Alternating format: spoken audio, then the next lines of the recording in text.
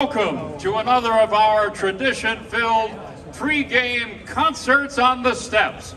And at this time, we invite you to welcome the University of Notre Dame Marching Band.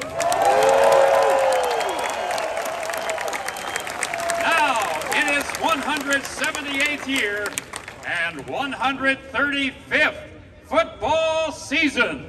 And now, here it is, the Band of the Fighting Irish.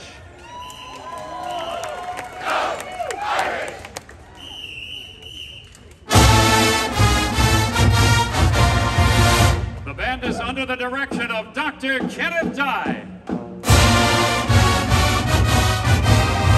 Such as Larry Dwyer, Matt Merten, Emma Phil, and Victoria Paspala. With Thomas Judson and Savannah Carr.